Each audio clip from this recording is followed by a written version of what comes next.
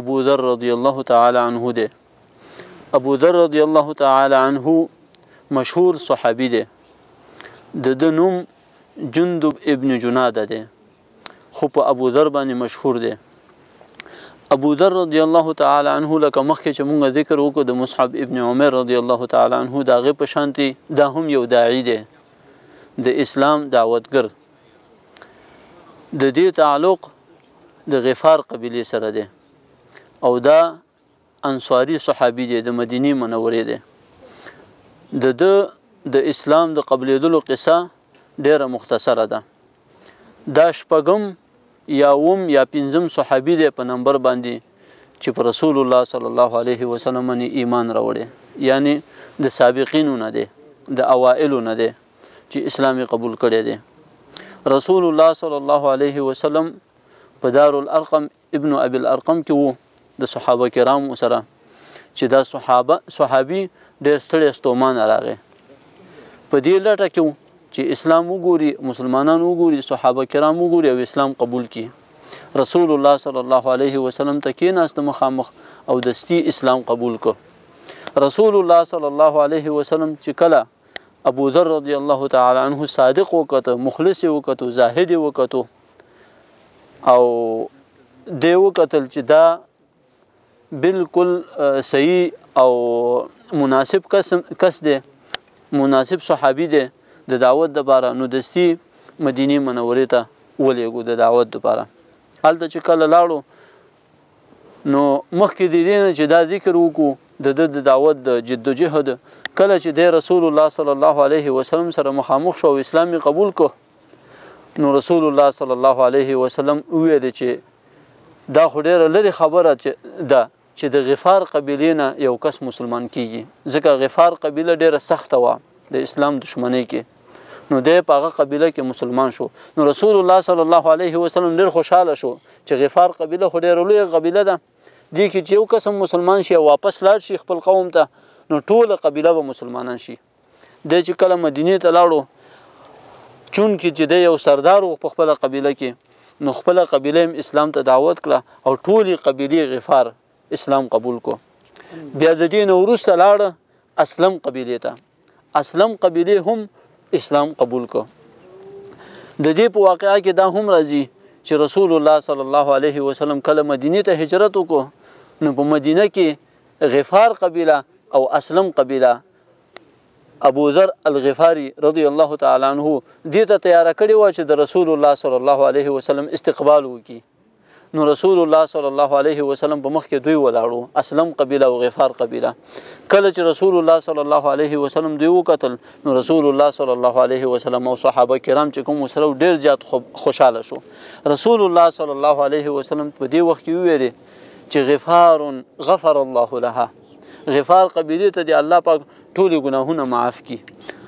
واسلم سالمها الله او اسلم قبیلې ته دې الله پاک سلامتیا ور په نصیب کړي، امن او امنیت دې الله پاک ور په نصیب کړي، الله پاک دې همیشه په حفاظت کې وساتي. رسول الله صلی الله علیه وسلم دا ډېر مشهور صحابي دی ابو ذر رضی الله تعالی عنه د ابو ذر رضی الله تعالی عنه په حق باندې رسول الله صلی الله علیه وسلم فرمایلی دي ما اقلت الغبراء ما اقلت الغبراء ولا یو مشهور مقوله ده چې پښتو کې به مونږ ترجمه کو چې نه په بوچا او نه په لمده باندې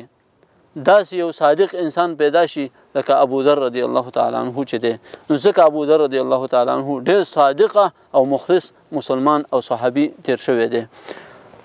ابو ذر رضی الله تعالی عنہ د ډېر طرف او دړې ډېر مالدارۍ او د ډېر انعامونو ډېر سخت مخالف وو نو هر چاته به د دې دعوت ورکوو چې د دنیا سره لا تعلقي اختیار کی او اخرت سره تعلق پیدا کی نو رسول الله صلی الله علیه وسلم یو ورځ ورته ویلې که چرته تا ته مخامخ داسې امیران ملاو شي داسې بادشاهان ملاو شي داسې خلک ملاو شي چې بنگلې به جوړي مال او دولت سره به لوبې کوي او دنیا کې به سطحي اوسېږي د الله سره به تعلق نه د آخرت سره به تعلق نه نو ته به سکه نو ابو ذر رضی الله تعالی عنہ ډېر مخلص او ډېر صادق وو لکه څنګه چې رسول الله صلی الله علیه وسلم ویلي دي نو د به ویل چې زه به تور ور اوالم او خلکو سره به په دې توره باندې جنګ وکم دا خلک به د دې کار نه منې کوم رسول الله صلی الله علیه وسلم به ورته او فرمایل چې اصبر حتا تلقانی صبر وکا توري ته لاس نه کې تر څو چې زما سره ستا ملاقات وشي همدا چې کله د معاویه رضی الله تعالی عنه ته لاړو د دې لپاره چې خلکو ته هلته هم دعوت ورکړي، نو معاویه رضي الله تعالی عنه د ده نه تنګ شو او عثمان بن عفان رضي الله تعالی عنه چې د وخت خلیفه و په مدینه منوره کې هغه ته یې خط ولېږه چې ان اباذر افسد الناس چې ابوذر خلک په فساد کې واقع کړ په فتنه کې واقع کړ دا زمونږ نه بیرته واپس کوي لګا مدینه ته نو هماغه چې عثمان ابن عفان رضی الله تعالی عنہ هغه وخت غوښته او ځان سره کېنو هغه ته ویلې چې ته په دې وخت کې د معاصر خلکو سره نشي چلیدلی یا زما سره پاتې شله ما پات پاتې شه زما په جونګړه کې تا ته به هر څه رسیږي خورا اوس کا حساب مکوه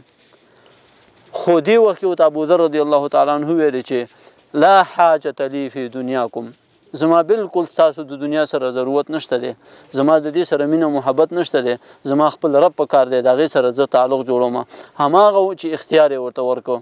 ورته ویل چې ما سره پاتې کیږي او که د مدینې نه د لری ولېګم چې عبادت کې خپل عبادت سره د کاری نو ابو ذر رضی الله تعالی عنہ دا شی غره کو بیا عثمان رضی الله تعالی عنه هغه یو ځای ته ولېږو چې د مدینې سره پیوسته دی د هغې ځای نوم دی الربذه الربذه چې کله لاړو نو هغه هلته عبادت کوو او د الله پاک سره تعلق و د چا سره کار نه درلود دنیا سره کار نه و نو هلته یو ورځ په خپل ځای باندې دی د خپل خځ سره او د خپل ماشوم سره نو په دې وخت کې د تمرګ راځي د وفات وخت ئې راځي دی د الله پاک سره الله پاک ته دی نور رخصتیږي نو په دې وخت کې خزه ورته جاړي خزه ته ویل چې ته ولې جاړي مسکې شو ورته په خندا شو ورته خزه ورته ویل چې جاړم په دې نه چې ته وفات کیږي او ته مړ کیږي جاړم په دې چې مونږ سره اسم نشته چې تابع کې کفن کما او تابع زه پکې پټ کما او جاړم په دې باندې چې څوک نشته چې تا قبر ته کوس کی جاړ